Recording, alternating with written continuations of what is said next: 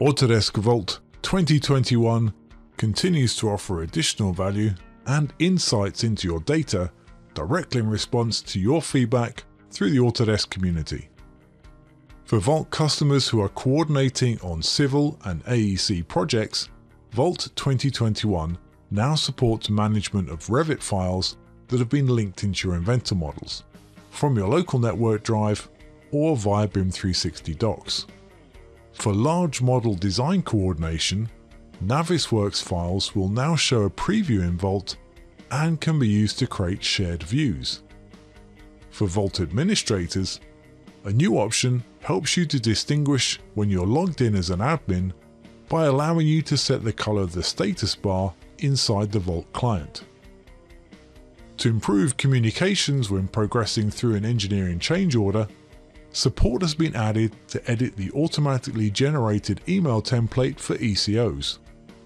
For copy design in Vault Workgroup and Professional, rule sets are now stored on the server. This makes it possible for admins to manage copy design rule sets globally and provide standard settings for copy design behavior. Additionally, new functionality in copy design makes it possible to copy property values from the original file to any user-defined property in a new file. For example, the original part number or source drawing file. Security settings in Vault 2021 receive an extra option to help you manage reading and downloading of files. This option makes it possible for users to read information about the file without needing permission to download the file itself. For Vault users, a new property has been added to help identify orphaned files. The has parent property is true for files that are being used and false for files that are no longer being used. You could use this property as a filter or in a saved search, or during a state change to automatically archive orphaned components.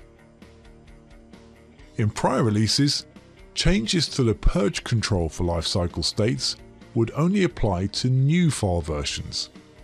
There is now a new option to apply purge control changes to historical data as well and first seen in Vault 2020.2, Duplicate Search in Vault 2021 helps you to identify duplicate parts by comparing your Inventor model with your vaulted data to help you identify duplicates before checking files into Vault.